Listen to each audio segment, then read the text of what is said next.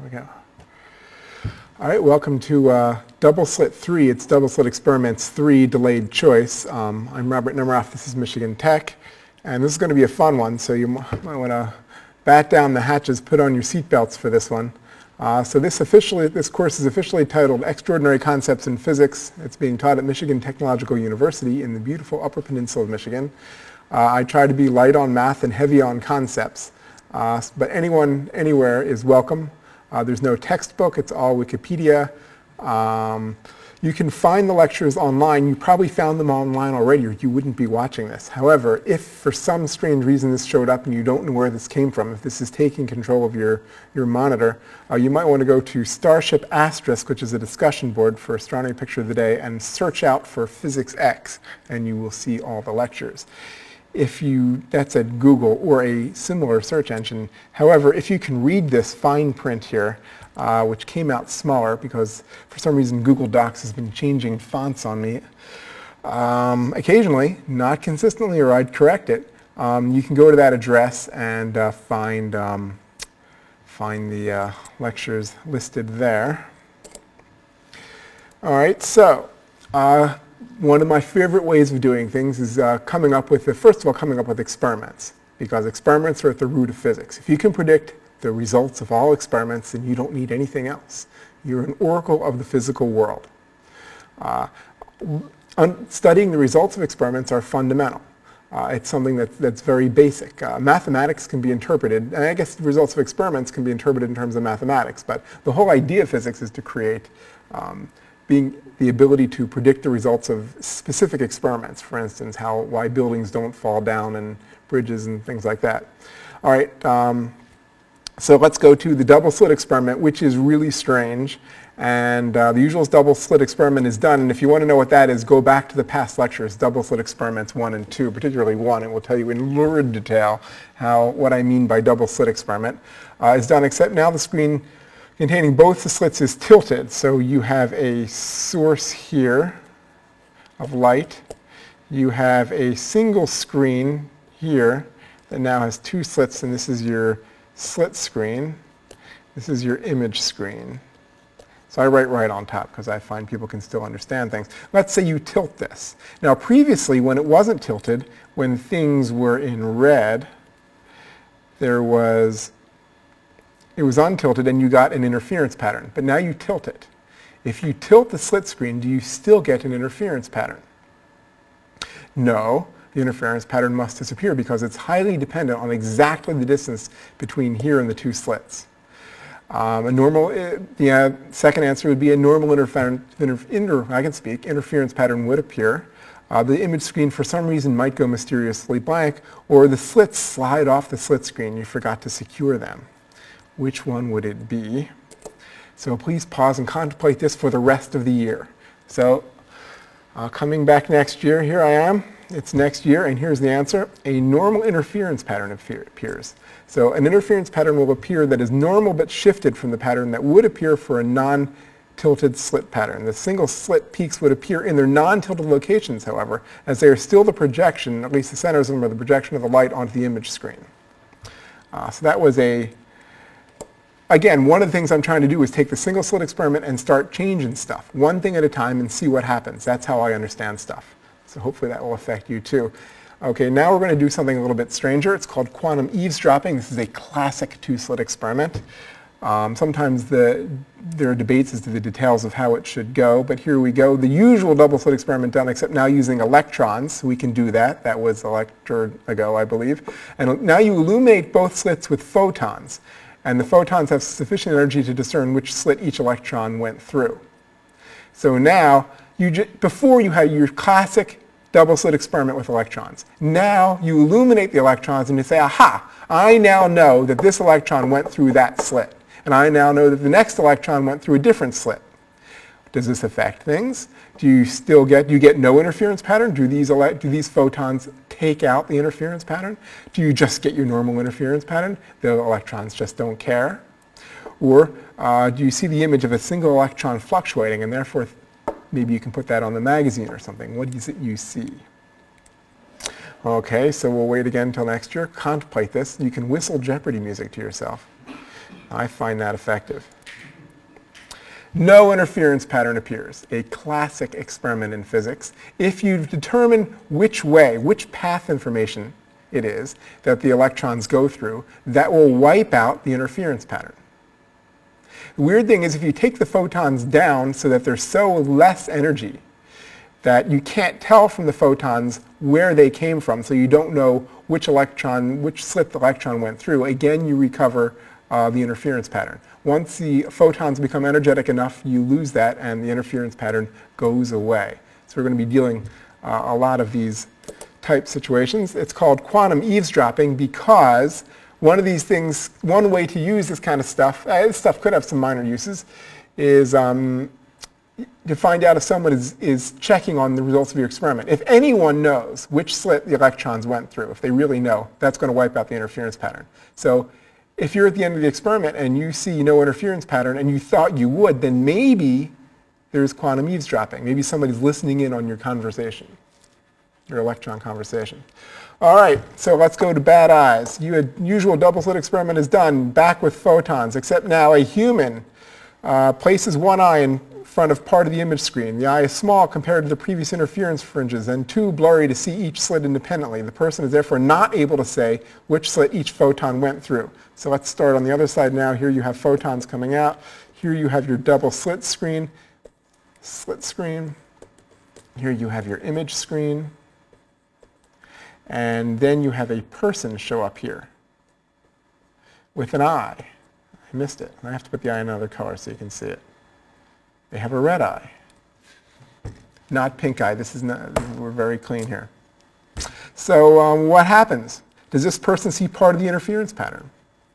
Because before there was an interference pattern, which I'll cartoon draw like that, uh, do they see part of a no interference pattern? Does the image screen go black? Or do you need glasses? Is this an indication you just need to go to the optometrist? What happens if you go in front of the screen and you look toward the slits, but you just can't make them out. And the answer, please. The answer is not good. Let's see. Hit the wrong button. Sorry. Please stand by. We're experiencing technical difficulties. Um, okay.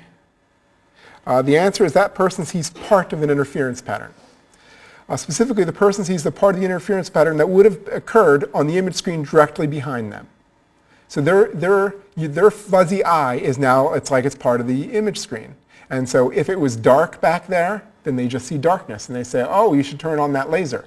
If it was light back there, they say, oh, I see light coming from the direction of the two slits, but I can't tell you which slits they are. So now that person invites their friend. Their friend has a larger eye and their friend has great vision. Their friend repeats the experiment, except now they can see well enough, good enough, uh, that to see each slit independently. And if you can see each slit independently, you can tell which slit each photon goes through. Supposing now, let's say the photons are just reduced to one photon per, per shot. So you say, oop, that one came through the left slit. Oh, there's another one. Right slit. Right slit again. Left slit. And they know. So then this person's going to know which slit each of the photons went through.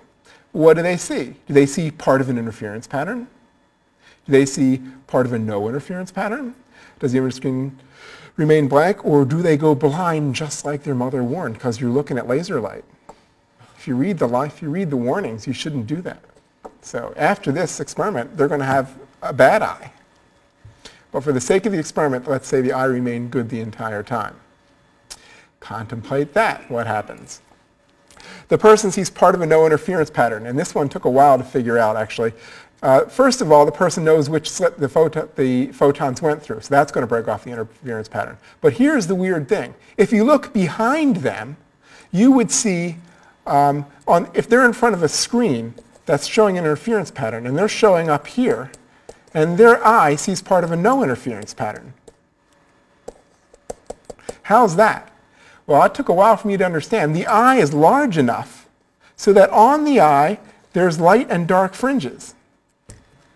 And all together, it, washes out and the total brightness the eye sees is consistent with the no interference pattern.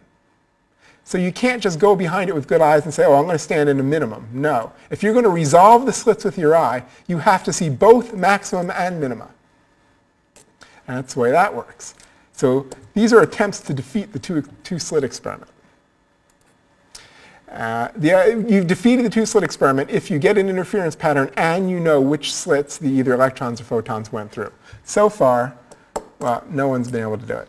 And a lot of people have tried. So it's a little bit like that sword in that, uh, that thing where you have to take the sword out of the rock. It's a little bit like that. We're still waiting for somebody. All right. And I'm sure there's lots of knights out there who want to try.